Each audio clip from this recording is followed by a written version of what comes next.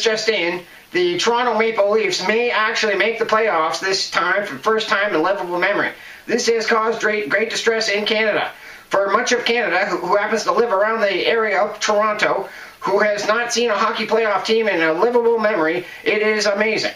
Now, the Flames, Canadiens, Canucks, and Oilers fans, even them, are somewhat pleased because they finally have a contender instead of just a doormat. But things have been happening in Canada that are very unusual.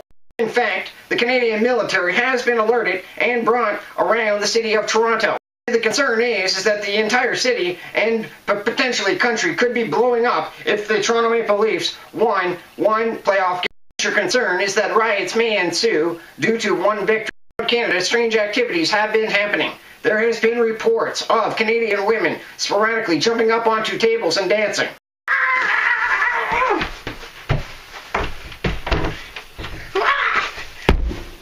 Canadian men, in a strange tradition, are caught for good luck rubbing their sticks.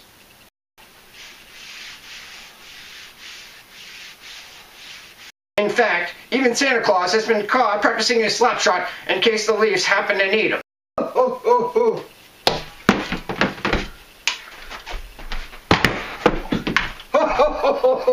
Madness, and the mil military is quite concerned about the situation currently.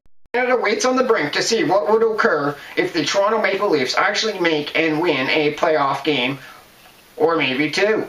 Canada is stunned and shocked, and not sure what to anticipate. That is the news tonight.